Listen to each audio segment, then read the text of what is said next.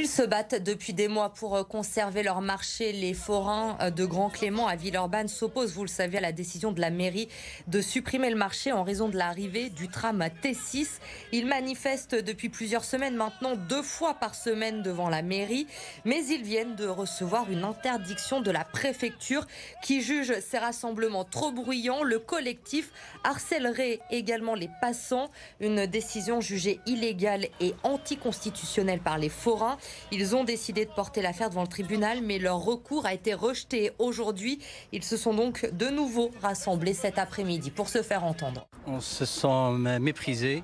Euh, J'ai l'impression qu'on n'est pas non considéré et ça, ça un peu révolte les, commerçants, sachant que depuis les 80 manifestations, on a toujours fait les choses correctement. Nous, on est déterminés, on va rien lâcher.